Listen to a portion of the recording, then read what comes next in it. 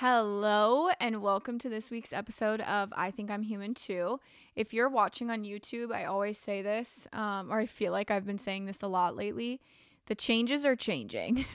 we are preparing for our move to Texas, and um, with that, we've been getting rid of a ton of stuff in our house. So, hi, Hadley.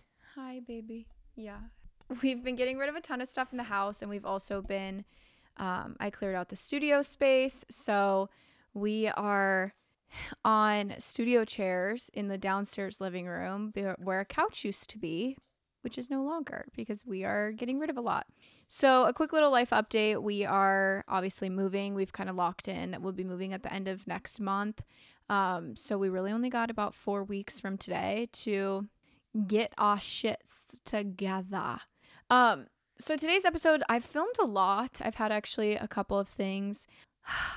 Good old Hadley, our little German short hair pointer, she decided to eat an SD card. Mm-hmm. That had content on it. Mm-hmm. And normally I'm very good about getting the content off of my SD cards onto my laptop and onto a hard drive just in case anything like that happens. But I was so ahead on content that I didn't feel like I needed to do that right away, like day one. So like a week went past and nothing's ever happened. Hadley's never chewed anything. She's never peed in the house. She never poops in the house. She never does anything naughty. So I think she can kind of feel a move coming a lot of people said that like dogs can sense that. Um, also, when we don't give her full attention, she sits by the front door and whines, even though she does not have to go out. So if you hear her whining throughout this episode, that's why. Okay, so today's episode, I wanted to talk about therapy. Although, do I believe that everyone should be in therapy? Yes. But let's backtrack and let's talk realism. Okay, let's talk real life. Therapy is expensive, it's time consuming, it's scary, it's really hard to sit down with a stranger, get to know them. If you don't like them, then you're like, okay, well, I just wasted money and time and now I don't want to go do it again. Um, so I get the fear or the hesitancy around therapy, but I really wholeheartedly believe in it. Um, when my dad first passed, I knew right away I needed to get in with a therapist, but I knew it was going to take me some time because I was so anxious. I was like, I don't want to sit with somebody and talk about the worst day of my entire life. I'm scared. I just am not ready. I don't want to do that. And then finally, I got in with a good therapist. Mind you, I was looking for a therapist that um, specialized in PTSD and also grief. But then I also wanted a female. So there was like a couple things on my list that I was very, very stern on because I just I love men are great, but um I feel like a lot of women just really understand women. One, two, obviously I was gr- I'm still grieving. Three, I went through a very traumatic experience, so I needed somebody who understands traumas. And I was also going through like I I have replays in my head of like the exact morning that it all happened, and then I'll go into like full blown scenarios of like what I should have done, and I'll like reenact things in my head of like how it could have saved my dad's life and whatever. So, anyways, I want to talk to you guys about what I've been talking to my therapist about, and you would be like, you're probably like, Catherine, this has nothing to do with me. It has everything to do with you. Here's why. We haven't even really touched the grief. We haven't gotten anywhere close to the grieving parts of life. Right now, in therapy, over the last few months, I've been learning feelings. I've been learning boundaries. I've been learning sorry, not sorry. I've been learning so much and we'll touch on all of it. I kind of want to I want to go over a couple different things. And that's where I'm like if you don't have a therapist, we'll go over what I've learned so far.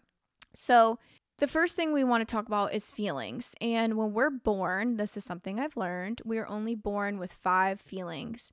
You are born with love, joy, fear, anger, and sadness. Those are your 5. Those are what you are born onto this earth with, and those are the only things that you feel at its core. Every other feeling that you have is what's called a conditioned or a social feeling. For example, you poop yourself in the fifth grade. Everybody laughs at you, makes fun of you. Now you feel shame. You feel embarrassed because they made you feel past sadness. Like sadness is the core of that feeling, but embarrassment is because others are making you feel embarrassed. Meaning, like, if you were to shit yourself at five weeks old, that's not embarrassing. That's normal. That's a normal part of life. I mean, your parents just wipe it up and keep on keeping on. Nobody was laughing at you. So it was just a normal thing to do. Not normal in the fifth grade. So all the kids start to laugh at you. Now you feel shame, you feel embarrassment. Moving on to other feelings. Um, guilt is one that's really, really, really big for me right now is I just feel guilty for so many things out there. I feel a constant weight of guilt on my chest of like even when I'm not doing anything wrong or it's not nobody's even making me feel guilty. They're not sitting here saying like I don't know, you're rubbing something in my face, so you should feel guilty. I don't know. Oh, the girl crew has came to say hello. If you girls are going to be down here, you need to go get up in your chair. Hello? Get up in your chair. Go get up there. Go get up there. She wants mine. Go get up there. I told you this one's just bored. Okay, so when we're thinking of guilt, the word and the definition of guilt is court, right? When you go to court, they are determining if you are guilty or not guilty. So if you walk in there and you say, I feel guilty for not telling my parents this, I don't know, that you didn't get accepted into college. I don't freaking know. Um, anything. A judge would look at you and be like, what are you guilty of? There's no conviction here. There's no crime being committed. Go home and just deal with your parents or whatever. You're not guilty. What you're guilty, where guilt comes in, is you say, hey, yeah, I didn't want to tell my parents that I didn't get into college. So I told them to stand in front of my car. I backed it up and I ran him over. The judge would be like, mm, yeah, that's actually called murder and you're guilty. So guilt is not a feeling, it's a conditioned feeling. I mean, it, it, but it's not one of your core five. So when you get back into the root of your five, like where does guilt stem from? A lot of my guilt stems from sadness.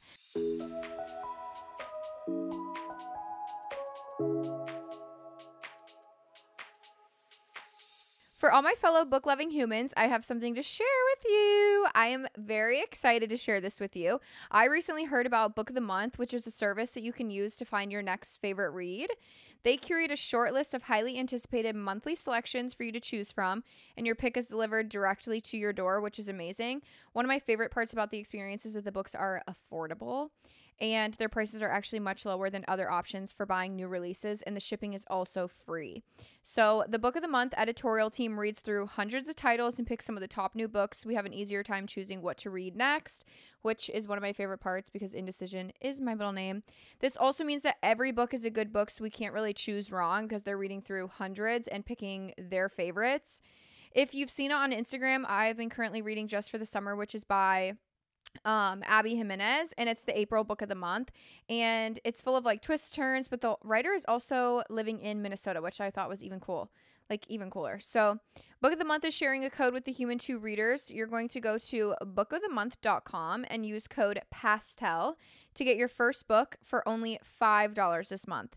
So, again, that is bookofthemonth.com and the code is PASTEL and this will get you your first book for $5. Happy reading, and be sure to DM me on Instagram with what book you start with. I'm excited to see.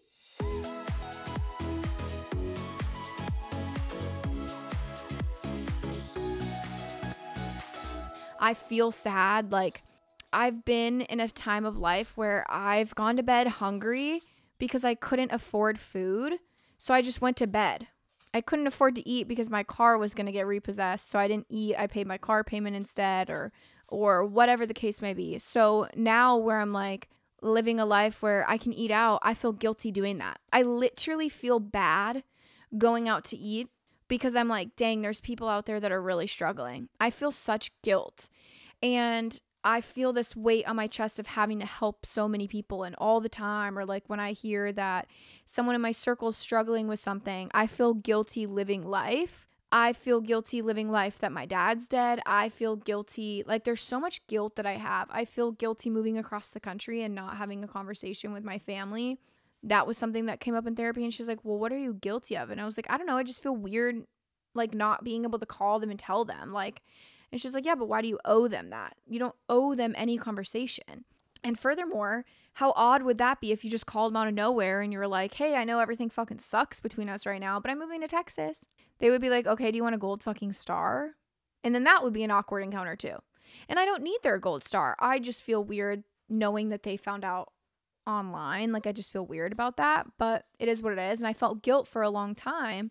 And she was like, But what are you guilty of? And I was like, Well, not telling them. She's like, That's not a crime. And I was like, Hmm, I guess that's true. So, moving past the feelings of guilt, I think that was super important to find out when I was in therapy and going through it is figuring out like getting to your core five feelings is something something she's been trying to tell me to do. So when you're feeling embarrassment, shame, guilt, um when you're feeling all these uh, other things, um get to like the core word. Start to realize like, oh, okay, like because then you can start to identify, okay, my guilt is actually sadness. And where I say that is like I felt guilty like that my family was finding out online I felt uncomfortable. I felt guilty, but I'm like, no, at the core, my actual feeling is I'm sad. I'm sad that life is playing out the way it's playing out.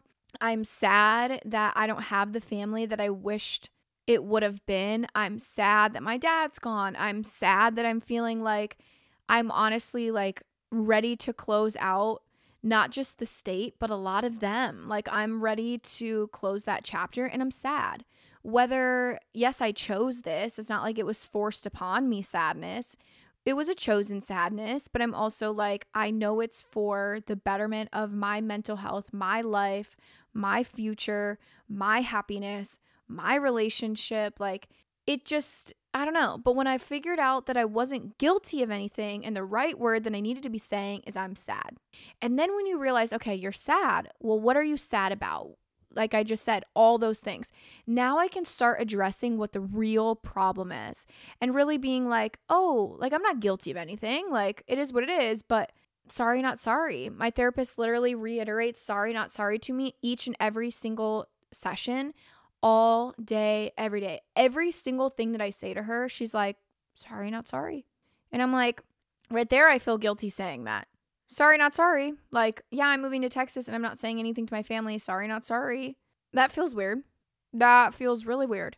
Um, but I again don't owe them anything. And again, okay, well, if I were to play out the scenario and I were to come over and I were to sit down and say, hey, by the way, we're moving to Texas, and now we just stare at each other. Well, I don't need their stamp of approval. I don't need their congratulations. I don't need their their hate if they have hate to say with it. I don't need any of it. It's just a validation or an invalidation that is not needed no matter what is said. So, sorry, not sorry you found out that on Instagram and TikTok I'm moving. Sorry, not sorry. I mean, this relationship has gotten to this point not just on me. It's not just my end. Like I wasn't the only one in this party that got us to here. So, I don't owe anyone anything. I shouldn't feel because we're conditioned that family comes first and family this and family that and family, family, family, family. At the end of the day, some people just don't have great families. Sorry, not sorry. Like, I don't know. It's just so odd. I wish it was different, but it's not. Another thing that we've been learning is boundaries. And when I learned the way that she explained boundaries to me, it kind of changed my view on things. So, for example, when you think of everybody as a store, Okay, everyone in your life, you've got a store. Think of yourself. What are what are you? Who are you and what do you provide to others? You might be a Hobby Lobby. For all creators out there, everybody swarms to you and you're a very creative soul. But when they need something serious like I don't know, say the apocalypse is coming, right? Nobody's going to go to Hobby Lobby. Everyone's going to go to like the needs store. I don't know, the grocery store. Um and like the okay, she's it's hard for me to like reiterate this, but like in her words. Okay, so every person has their own store and like you are your own storefront. For myself and for my friend group, I she described me as a target. She was like basically what it sounds like is you're the person that a lot of different people can come to anytime. You're always open. You're always giving. You're always you've got something for somebody every day, everywhere, and you're a target. I said, "Okay." And she said, "Here's what a boundary looks like. Target closes their doors at 7 p.m." Mhm. Okay, perfect. Target also makes billions of dollars. I said, okay. Target also can donate millions of dollars to whoever they want to donate. Mm-hmm. Okay, but a kid comes in or an adult comes in and decides to steal a $7 candy bar. Okay, you can now kick them out. Even though you decided to donate millions of dollars and you don't need that $7, you still have the right to say, You are no longer welcome in my store. And I said, Hmm, that's true. Okay. And then also, let's go back into thinking other people are stores. We all might be targets to ourselves, right? We all might be a Walmart. We all might be some sort of store where you can get everything. Some people might not be. You might just be a Hobby Lobby, which is great. Hobby Lobbies are amazing for a lot of people. You're like the creative juice for everybody. You're just always a light-hearted, loving, creative, amazing person, but you're like I'm just like you're the fun person. You're the fun friend. That's okay. There's some people that are the hardware stores.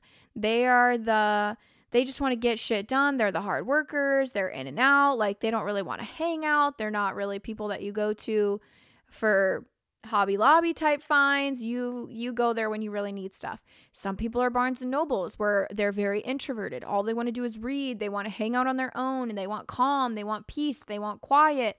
You go to them when you just want to have a nice dinner with a friend in their house, watch a movie and go to bed. Like every friend is different and every type of person is different.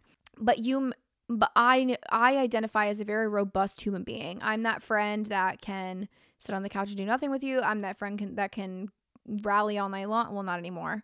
I'm just a very robust robust person. That's why she describes me as a target. So figure out who you are, and I think that will also help you decide. Like when you start to think of yourself as a store, you kind of understand like who you are as a person more. It's kind of crazy. Then my therapist was like, when you start to think about other people and other like when you're like, for example, my brother, there's a brother and I that are just no longer communicating.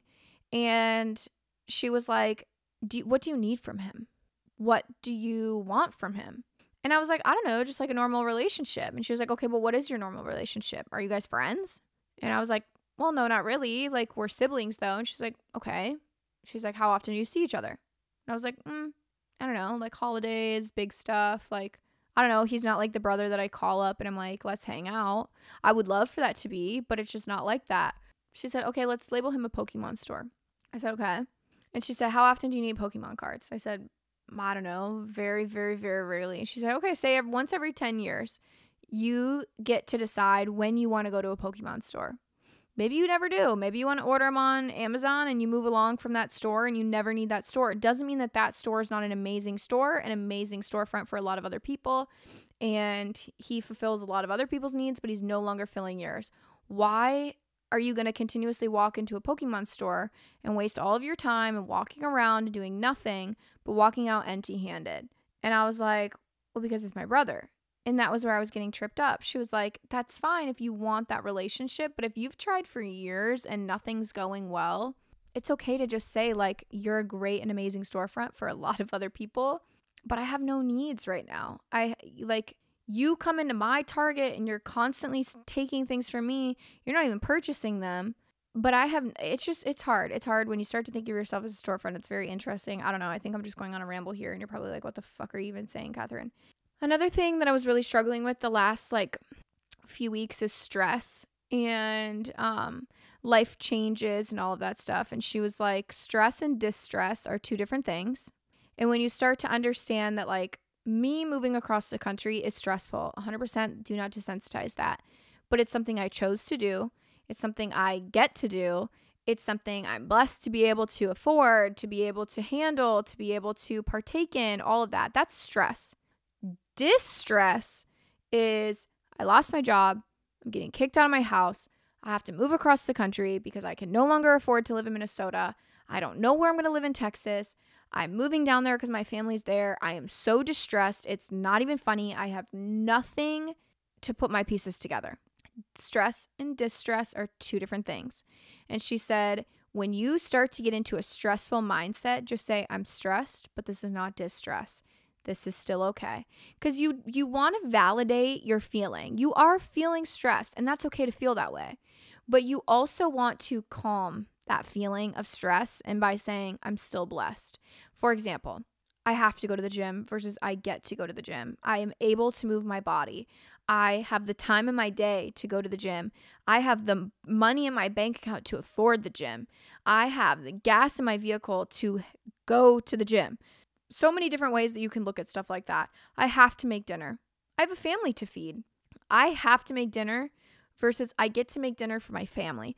There's so many things. Yes, those things are stressful. Making dinner, constantly doing that, going to the gym, those are all things you're like, damn, this sucks. This is stressful. Like adding this all into my day, this is stress. Like, those are all valid things to go through where you're like, oh, I'm kind of stressed out today. Like, I got to do this, I got to do this, I got to do this. But when you start to think of it as like, ooh, this is actually like, how many other people can say that they can afford this willingly? They can do this easily. They can choose this. Like, there's some people that don't get that option. Um, so, really starting there. Another thing that she had taught me is let's talk about help. Us females, we all want help. Okay, what does help look like to you? I don't know. Okay, then how the fuck is your partner gonna know? If I were to say, Raphael, can you help me? Okay, sure, help with what? Just help. Okay, so then he decides to go outside and rake the leaves. And then I say, What the fuck are you doing outside? We need help in the house. The inside is a disaster. We have people coming over for dinner. Okay, what do you need my help with? I don't know, look around. And I get it. A lot of women are like, hey, like, it's our house. It's not just my house. How am I looking at a mess and I know what to do, but you're looking at the same mess and you have no idea what to do? One, we're different people. Every single person, whether the same blood, no, same genetics, same marriage, no matter what, it doesn't matter. We are all individual humans with individual eyes, with individual interpretations, with individual hearts and individual brains. And we get so caught up in, well, we're siblings. Like, how do we not see the same thing? We went through the exact same scenario. How did you take it that way and I took it this way? Well, we're married. Like, we live in the exact same house. How do I see this mess and you don't see this mess? How do I know what to do and you don't know what to do? Because we're wired differently because our glasses my vision is his is not his vision so when we get past that interpretation and we just realize like okay if i'm going to ask for help i need to know what help looks like. I can't just say raphael come help me. He's going to be like okay help you with what? I, it's so much easier if you know what you need help with which takes a couple of minutes. Sit down with yourself and say for two three minutes what do i need to do today? What makes me successful today? And she's also explained like different days are going to have different things. For example, today I could be totally fine, and success to me is filming this podcast episode, um, getting dinner on the table, and spending an hour of uninterrupted time with my dogs. Okay, those are my top three things to make this day successful. Tomorrow I come down with the flu, I've got the stomach bug, I'm throwing up everywhere those three things that I did today are not going to help me tomorrow. Tomorrow's success list might be eat some saltines and get an hour rest, get an hour nap. That's going to make me successful tomorrow. Every day is a different successful day. So if you sit down in the morning, you're like, what do I need to do today to help me be successful? Some people, it might be, I don't know, journaling for 10 minutes in the morning. Some might be hitting the gym. Some might be getting ready and going to dinner on time and not being late everybody's success is going to be different. But when you know what is helpful to you to make your day successful, it changes things. And then also, it helps you communicate. Okay, so I know that I have to get this, this, and this done today for me to feel good about my day. All right, well, I need my husband's help here. All right, he can help me do the dishes. Um, he can help take the girls upstairs and keep them quiet while I film this podcast episode. They're right, literally right there. My success today was filming this episode. I literally said to myself, I have to film a podcast episode. I got to get it up. Okay. So I say, Raphael, can you help me be successful today? He would be like, sure, how? Well, if I don't know how, and I'm just like, well, I got to be successful. Can you help me? He's like, well, how? I'm like, can you make sure that the dogs are quiet while I film this episode? right there, me knowing my successes and knowing how my partner can help me, whether it's your partner, your children, your coworkers, figuring out how to articulate what you need and how to communicate what you need is so important. And it's life changing, truly life changing. I'm not sitting here saying I'm perfect. It is by no means easy, easier when I take my medication. but it's like we always say like we need help, we need help, we need help. And then when it comes time, people are like, well, what do you like? I used to do that all the time with my mom. She'd be like, I just need help. Okay, with what? She couldn't say with what.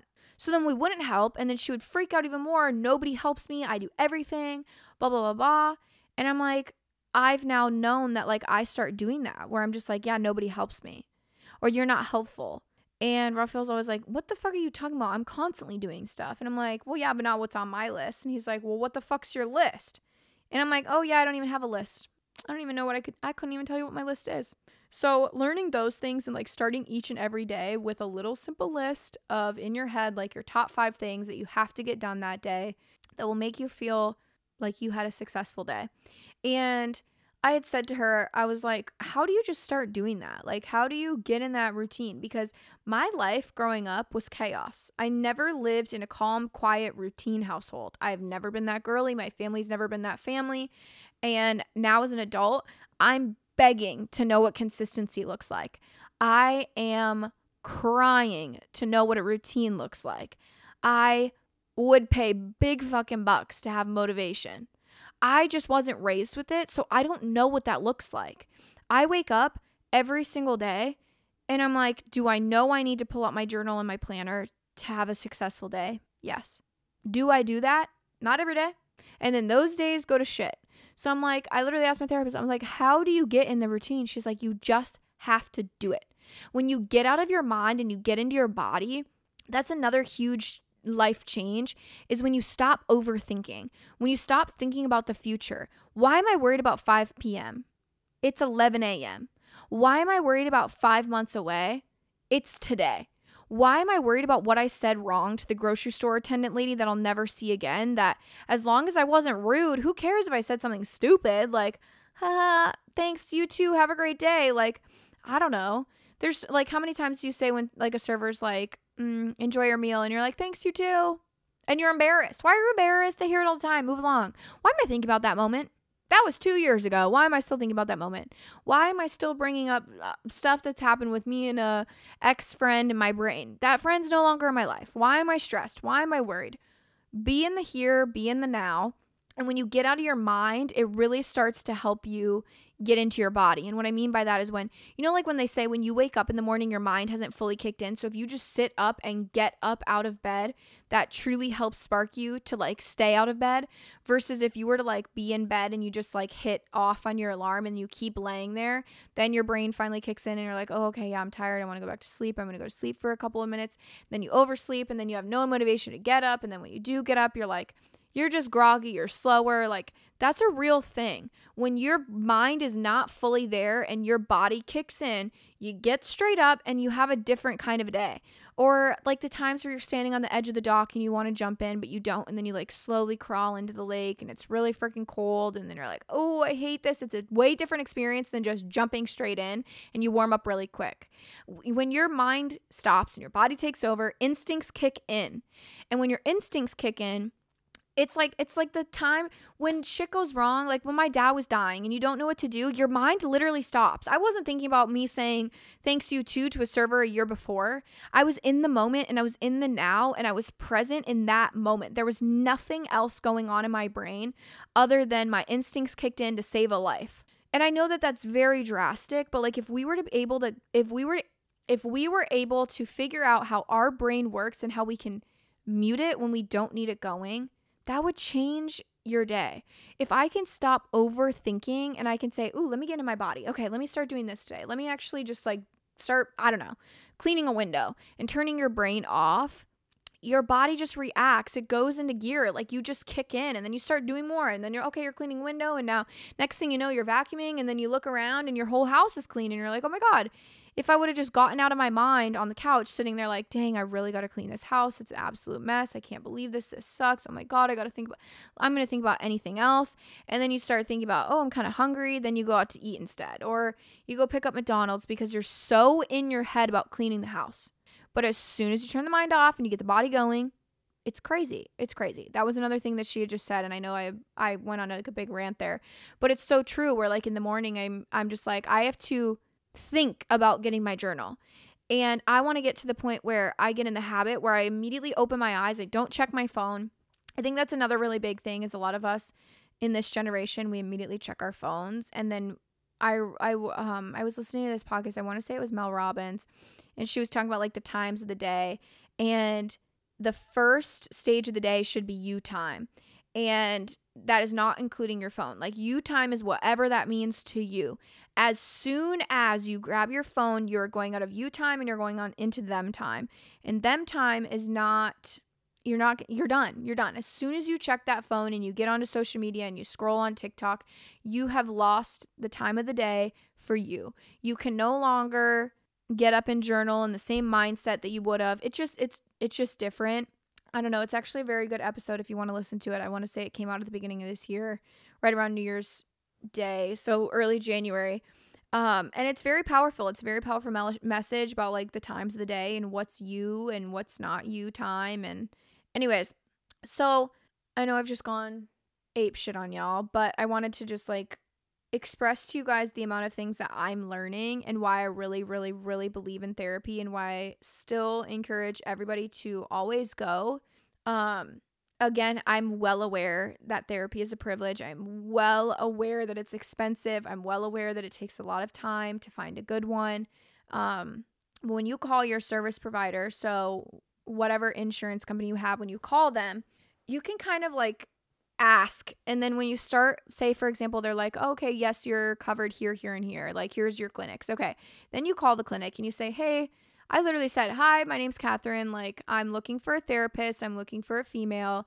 I've got grief and ptsd um from a traumatic loss. Past that i don't have like ptsd symptoms. Like i don't i don't know. It was just like the best phrase that i could say at the time. I was like i do social media for a living. So I need somebody who's like kind of young enough to understand social media.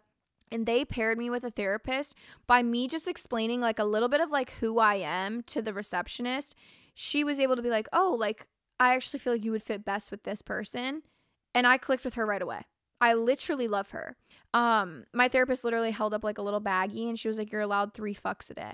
Three fucks a day. What are you gonna spend them on? And I was like, that's like a great question because I don't know what tonight's going to bring. Maybe I need all three fucks tonight. So why am I going to spaz that my dog wants to go out a hundred times today? I'm not going to like let that get me because that's not a fuck that I have to give right now. I need it to be a real thing that I want to give a fuck to. And when you start thinking that, like, okay, where am I going to put my energy? When you start thinking of like, okay, how many fucks do I have to give as how much energy do I have to give? Okay, you only have three things a day to give energy to. High energy, meaning like your blood pressure's high. It better be good. It better be good. Okay. So this fuck, we're going to convert it to energy. I am not going to give energy to things that do not pay my bills. Let's start there. That's a lot. That is a lot of people.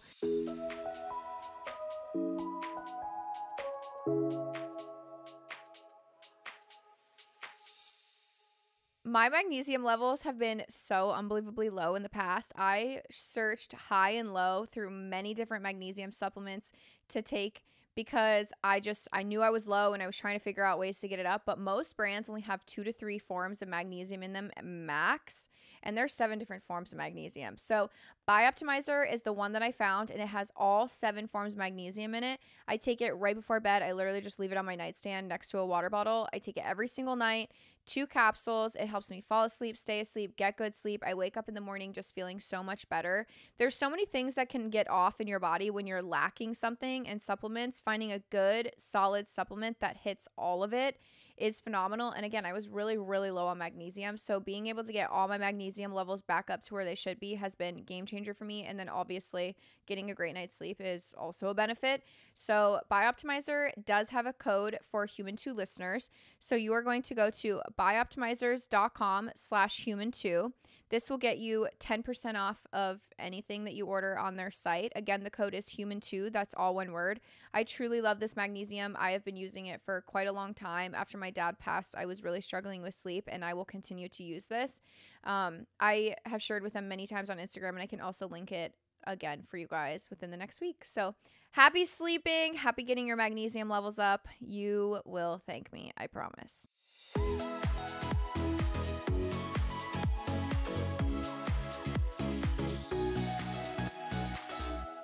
And why I say that is because there's so many things in my day where I just get so frustrated. I want to flick people in their forehead. I'm like, why would you say that behind a screen? Like, do you know that I'm human too? Like, do you understand that I'm literally human too? They don't care. But I'm also like, are you paying my bills? No. Do you pay my mortgage? No. Do I give a fuck about what you think about me and my nose? No. Do I give a fuck what you think about me and my husband's banter? No. So that fuck is not to be given to them. I'm going to put it back in my baggie and I'm going to say, okay, my husband wants to be in a bad mood and he's worried about something or stressed about something. That's something I'm going to give my energy to. That's where I'm going to sit down and be like, you know what? I'm not exhausted today because I've saved all my fucks. I've saved all my energy. Now I can sit down and see, figure out what's going on with my husband.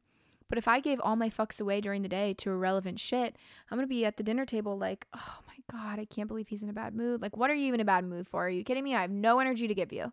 And then he's going to feel like, well, that sucks. Like, I really needed my wife today, but since you let all the trolls online bully you, like, now you have no time for me and I do pay half the mortgage. Like, what are you talking about? So, I really hope stuff like anything in this episode has helped you, but really start with sitting down and understanding the core of your feelings. Why are you feeling embarrassed? Why are you feeling guilt? Why are you feeling shame? Why are you feeling anything other than your core five? And when you can get to the core five and you can understand where it's coming from, you can start to address and look the issues directly in its eyes and say, Oh, I'm not guilty. I feel sad. Or I'm not embarrassed. I just feel, I don't know, sad. Um, then determining what makes you successful that day, writing down what is going to help me be successful. Then, second part to that, how can people help me? What does help look like to me so I can communicate help to them and vice versa? Um, understanding that you are a Target, you are a Hobby Lobby, you are a Pokemon store, whatever kind of store you associate as, they are able to close their doors. They are able to say, Today I'm closing at 6 p.m. Today I'm taking Sundays off. Today I am kicking you out of my store because you are stealing from me. I don't care if it's a $7 candy bar and I'm donating millions to other things. I get to determine where I donate versus where people steal from. Um, so there's a lot that we went over. I know it was just like a big old jumbled mess, but I wanted to share those things with you guys. I again highly believe in therapy and um, I'll continue to share what I've learned over the course of my time in therapy. I'm praying when we make our move to Texas, I find a therapist that I love just as much as the one that I have now. Um, and yeah, so I will keep these. I know this, like, I'm not going to have a part two to this episode just because I wanted to, again, just like kind of blurt out what I've learned in therapy and what's been beneficial and really has stuck with me. And not only am I sharing it with just like my day to day life, but I'm also sharing with my friends and family when they're going through stuff. Um, so I wanted to share it with you guys. So I will continue to do so while I'm in my therapy journey of life. And I don't know. Again, we still haven't even gotten to like the grief and like the the triggering, traumatizing day of my dad's death. But I feel like I really needed to get a lot of other things that were really heavy off my chest first. Um, and I love you guys so much. Happy Thursday. If you're listening to this the day that it comes out, I will see you guys next week. Goodbye.